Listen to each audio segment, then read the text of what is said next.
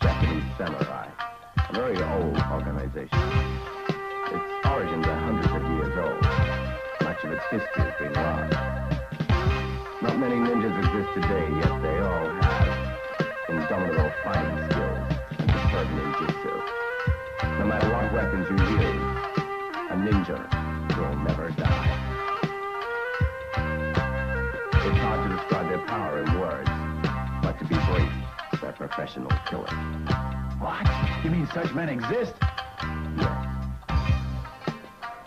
Tony, ninjas are so powerful, they must be connected. I think there's no doubt they're involved. What do you say we do, huh?